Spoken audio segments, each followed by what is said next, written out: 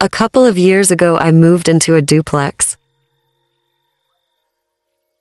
I just graduated from college and got my first job. It was a pretty decent neighborhood, and I was looking forward to starting a new chapter of my life.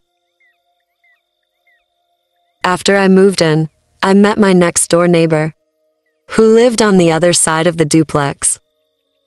He was a man named Rob, and appeared to be in his 40s. He said he had been living there for 10 years, and he seemed like a pretty nice guy. Even helped me move a couple of my bigger furniture pieces into my house. The first couple of weeks went by really well. I like my job a lot, and I was enjoying the house as well. One day, however, after work, I got a painting to hang up on my wall. There was a random screw in the wall of my bedroom, and I wanted to cover it up. The screw is pretty hard to see, but I still wanted to cover it up because I'm a perfectionist. When I got home, I went into my bedroom and positioned it against the wall to see what it would look like. But when I did, I got a closer look at the screw. I hadn't seen this before. But when I looked closer, it was actually a people. I looked through the people. I could barely see it. But I saw an eyeball looking back at me. I jumped back. The other side of my wall was my neighbor Rob. I ran and found some tape and quickly covered up the hole. Then I heard a knock at my door. I looked out my window to see Rob. I didn't want to answer it. I was way too creeped out. Danny tried opening the door. After a couple tries, he went back inside. I immediately called the owner of the property and told them the situation. They allowed me to get out of my lease and move out, which I did the very next day. I didn't see Rob the next day, and his car was gone. I'm glad, cause I never want to see him again.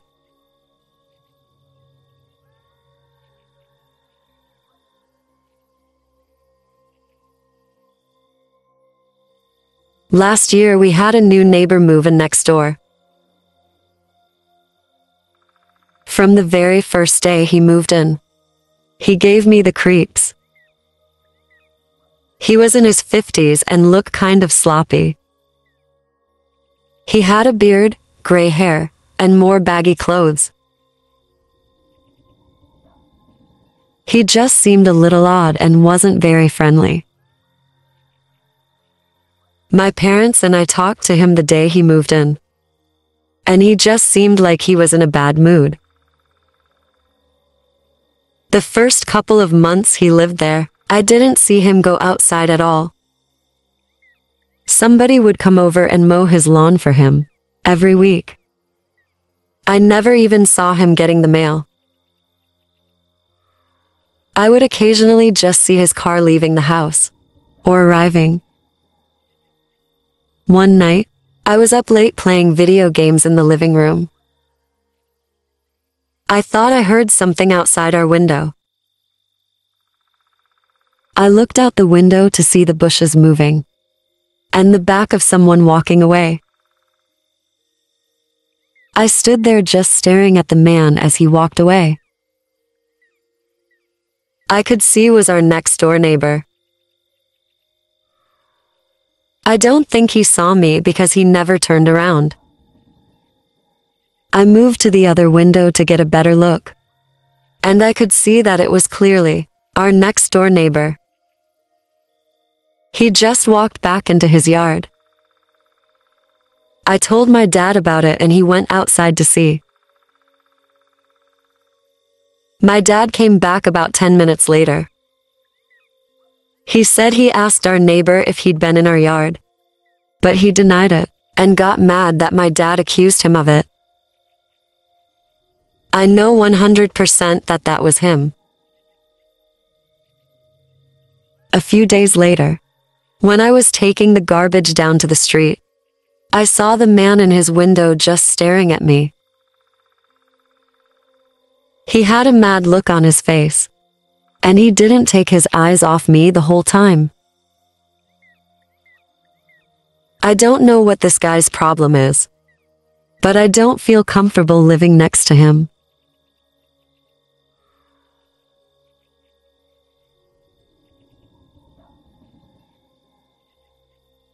A few weeks ago, I went to drop my friend off at his house. I pulled over to the side of the road to let him out. His neighborhood was pretty quiet because it was about midnight. Right as my friend was about to get out of my car, we noticed the car that was parked on the side of the road go into the neighbor's yard and then into their backyard. We found this really odd, and my friend stayed in my car to see what would happen. We then saw lights turn on behind the house. And then a shadow on the house next to it appeared. We could see the shadow of the man, and it started making movements. After trying to figure out what he was doing, we decided that it looked like he was digging a hole in his yard. This was a pretty odd activity for midnight. And my friend and I were suddenly very interested into what was going on. After about 10 minutes, the activity stopped. And we saw somebody walk to the driveway and into a car and then back inside. I couldn't make out what they looked like because it was so dark out. After about five minutes, somebody came to the end of the driveway and looked directly at us and then walked back inside. We were very confused by this whole situation. About another 10 minutes went by and somebody then came to the end of the driveway again and started staring at us. Then they started walking towards us. I put the car in reverse, backed up, turned around and drove out of there to my house. My friend slept at my place that night. The creepy part about this is the next day. When we went back, their house was completely vacant. And my friend hasn't seen anyone there since.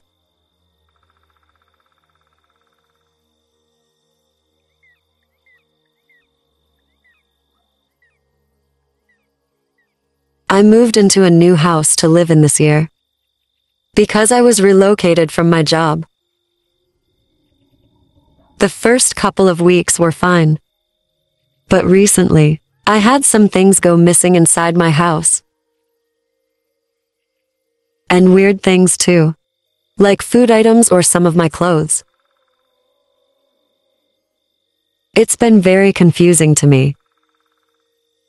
Until a couple of days ago, when I was pulling into my driveway from work, and I saw the guy that lives next door in my backyard. When I pulled in, he walked back into his yard and didn't look at me. Sure, he could have been just retrieving something, blew that. into his yard or whatever. But I just can't help but think they might be related. I know he was good friends with the previous owner of my house, so I feel like maybe he has a spare key or something. Then last night, when I was sleeping, I heard my front door open. I went to the edge of my door and looked to see if it was my next door neighbor. Sure enough, it was. I went out to confront him, But when I did, he turned and ran. I went to his house and knocked on the door. There was no answer. I went back in and called the police. When they arrived, I told them what had happened. But they couldn't find my neighbor anywhere. He disappeared and I haven't seen him since. He didn't take his car because I didn't see him drive away. Nobody knows where he is.